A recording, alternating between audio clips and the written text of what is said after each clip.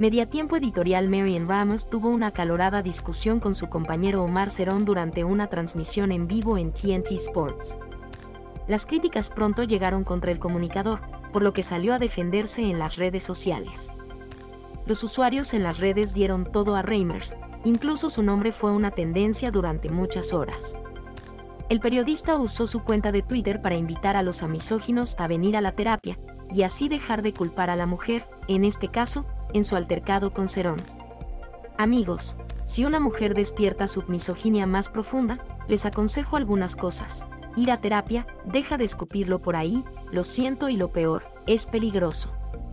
La culpa no es de la mujer, es como fueron educados. De este modo, regrese al primer punto. Reimers 4 de noviembre de 2022 La pelea entre Reimers y Cerón La mesa deportiva TNT analizó el delantero Brolin Holland y fue allí cuando la discusión entre la antigua televisión azteca y el antiguo tono de roce de Fox Sports. Omar Cerón pidió que no hiciera controversia barata y en ese momento Marion Ramos explotó preguntando que no le faltaba respeto.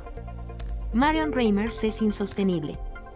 Ella es una mala analista, una pésima comentarista y también una mala compañera.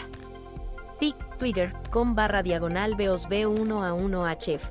Zona y el tiburón. 4 de noviembre de 2022 No te pierdas el respeto.